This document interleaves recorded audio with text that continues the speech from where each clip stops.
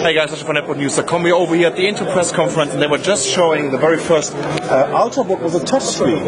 And that's a new reference design as you can see. And look at this. This is actually running uh, Windows 7 right now. It's a super slim design. I would guess it's like a 30.3 inch device.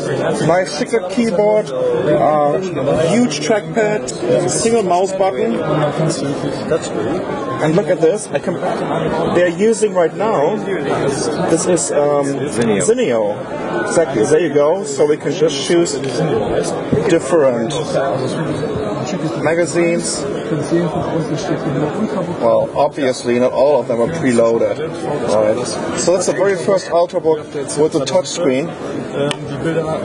It's a reference design, so I'm not sure if we can expect this device. Right, let's take a quick look at this. There you go. Has this nice little Ultrabook logo. It has a, a, magnesium finish. It's a little bit worn out, so they've been playing around with it for a while, I guess. But anyways, it's what we're going to see, especially with Windows 8. We will see more and more Ultrabooks also with touch. Hope I haven't killed it right now. So that's a new reference design, very first Intel Ultrabook with a touchscreen.